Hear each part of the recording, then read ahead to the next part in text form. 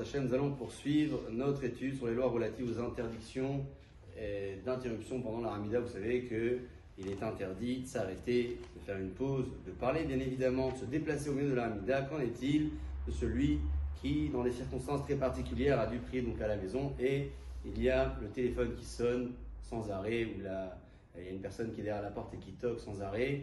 Et euh, cette personne ne peut pas euh, poursuivre sa Hamida normalement avec beaucoup de kavana.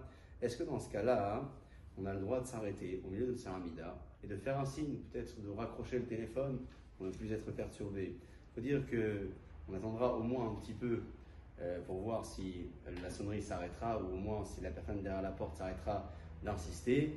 Si ce n'est pas le cas, on pourra se déplacer pendant la Hamida, sans parler bien évidemment, juste raccrocher le téléphone suffira, ou encore en faisant un signe à celui qui nous attend derrière la porte, de telle sorte à pouvoir reprendre la Hamida. Normalement, le principe est le même lorsque l'on a un enfant qui se trouve près de nous pendant la fila, et l'enfant ne comprend pas les allusions.